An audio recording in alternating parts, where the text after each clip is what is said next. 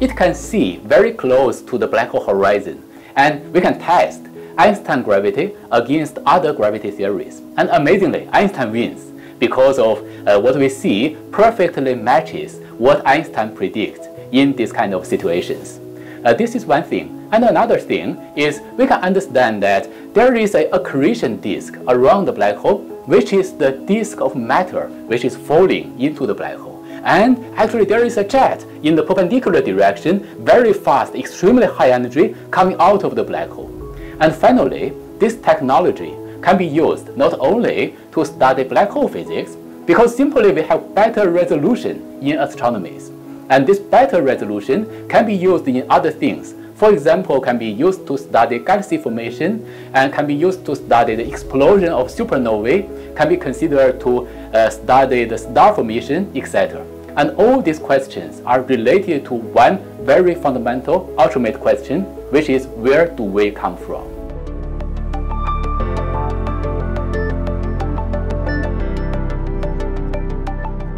You are asking this question exactly the right time because there are many directions now are making breakthroughs. One of the direction is gravitational waves. Gravitational waves are ripples of space-time. It's a little hard to imagine. That's a consequence of Einstein's theory of general relativity.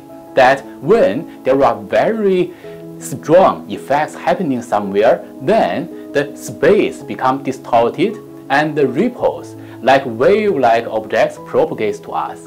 And in the future, gravitational wave can tell us a lot more about black hole physics.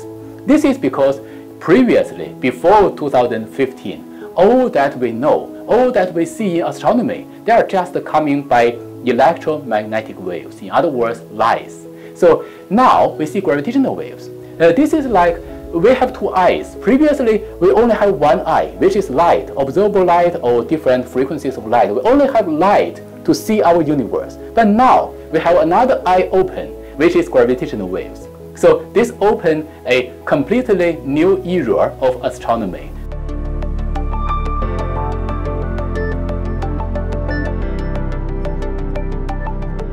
One thing is about black hole pulsar system. What is a pulsar?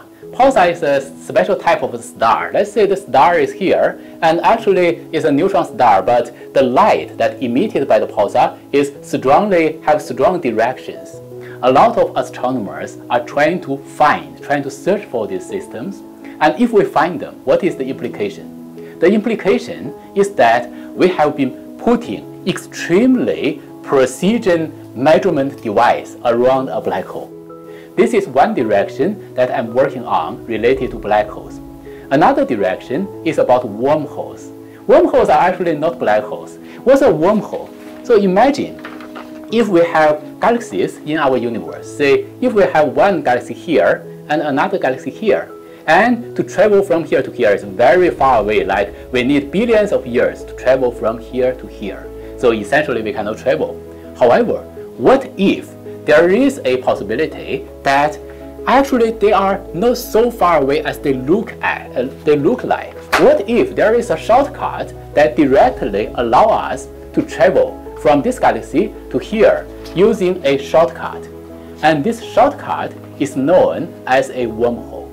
I'm not imagining that in any foreseeable future we can build some uh, space machine or time machine to travel using wormhole. So this is too distant. But at least it is important to understand if this kind of wormhole can ever exist at all. Is this kind of wormhole allowed by the laws of nature?